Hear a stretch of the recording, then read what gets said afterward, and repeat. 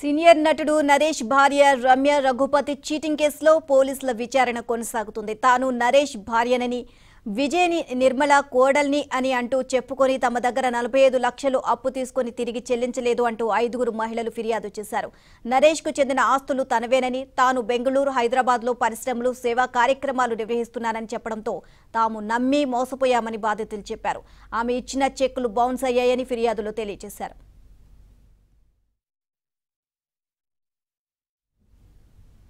రమ్య రఘుపతి అప్పులకు తనకు ఎలాంటి సంబంధం లేదని సీనియర్ నటుడు నరేష్ చెప్పారు.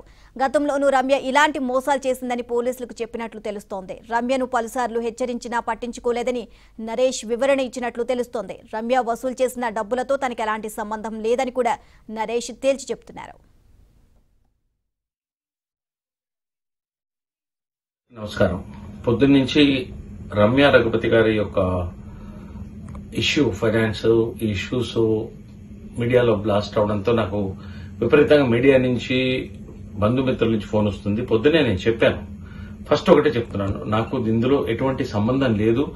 ఇది జరిగిందని కూడా నాకు నిన్న మొన్నటి దాకా కూడా తెలియదు చాలా మటుకు. ఒకటే చెప్పాలంటే తొమ్మిదేళ్ళు అయింది మాకు దాదాపు పెళ్ళి ఒక టూ త్రీ ఇయర్స్ తర్వాత మేము విడిపోయాం. దాదాపు ఐదారేళ్ళ క్రితమే విడిపోయాం. ఎటువంటి సమస్యలు ఉన్నాయి?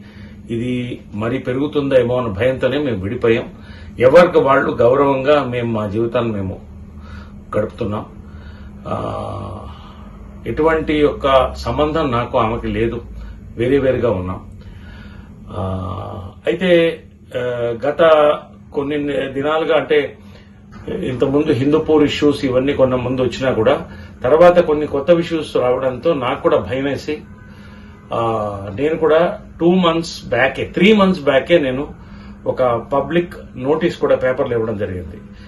ఈమెకి నాకు ఎటువంటి సంబంధం లేదు ఫైనాన్షియల్ కానీ ఏ విధంగా కానీ మా బంధువులకి ఎవరికి కూడా సంబంధం లేదని ఒక నోటీస్ కూడా ఇవ్వడం జరిగింది. ఎందుకంటే ప్రజలకు తెలియాలని. మా వరకు మేము దూర దూరంగా ఉన్నాం.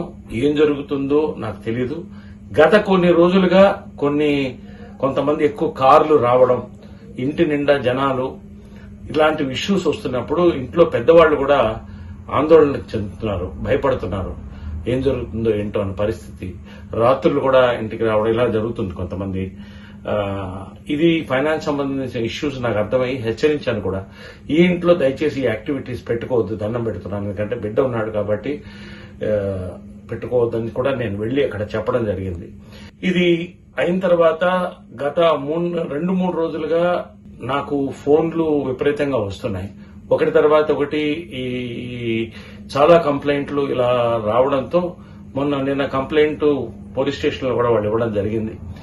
వాళ్ళు ఫోన్ చేసినప్పుడు కూడా నాకు ఈ విషయం తెలియదు కానీ నేను ఖచ్చితంగా నేను కనుక్కొని మీకు నా వరకు ఎంతవరకు దీన్ని నేను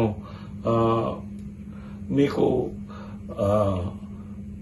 సపోర్ట్ ఇవ్వగలుగుతానని నేను కనుక్కుంటానని ఇన్స్పెక్టర్ గారితో కూడా మాట్లాడడం జరిగింది. లాయర్ గారు కూడా వెళ్ళారు.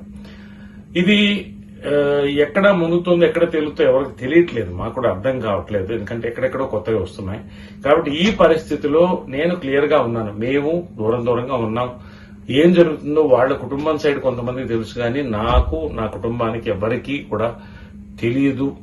రెండు ఇటువంటి ఫైనాన్షియల్ విషయాల్లో మా కుటుంబాలు ఎప్పుడు కూడా ఇన్వాల్వ్ కాలేదు. మేము ఇవ్వడం తప్ప తీసుకోవడం మాకు తెలియదు ఎవరిని హర్ట్ చేయడం మాకు ఇష్టం లేదు కాబట్టి ఇంతకంటే నేను మాట్లాడట్లేదు. దయచేసి clearly I'm telling I'm not connected in any of these issues. Thank you